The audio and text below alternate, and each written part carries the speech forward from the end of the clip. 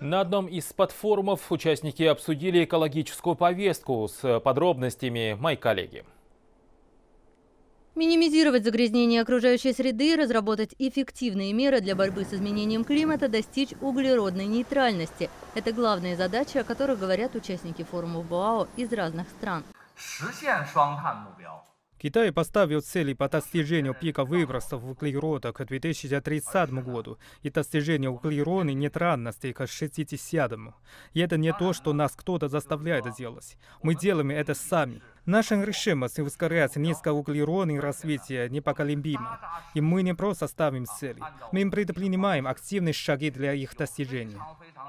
Борьба с загрязнением окружающей среды, противодействие изменениям климата – стремление к углеродной нейтральности – это очень серьезные глобальные задачи, которые, в общем-то, являются общими для всех стран мира.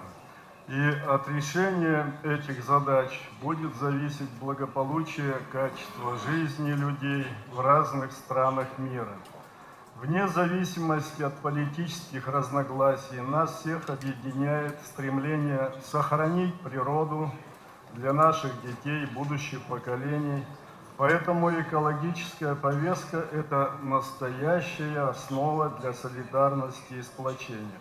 Задачу достичь углеродной нейтральности к 2060 году поставили и в Казахстане. Это большая амбициозная задача, но я думаю, она очень важная не только для Казахстана, а в целом для мира, да, чтобы было достигнуто именно а, устойчивое развитие, потому что мы все как бы живем в одном доме, Земля, да, и, соответственно, а, сейчас хорошо, что мир начал заботиться о том, а, что такое устойчивое развитие. Мы не можем просто говорить о экономическом развитии, надо все строить и так далее, потому что урон, который может быть в этом процессе нанесен экологии, может быть в какой-то момент стать необратимым процессом. Да?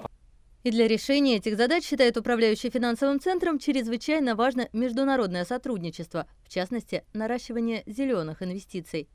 А, это в первую очередь, я думаю, э, инвестиции еще раз в э, энергоресурсы зеленые. Да? Казахстан, сами знаете, большая страна, у нас достаточно не только э, ресурсов, которые под землей, но при этом и ресурсов солнечной энергии, я думаю, ветровой энергии. Да?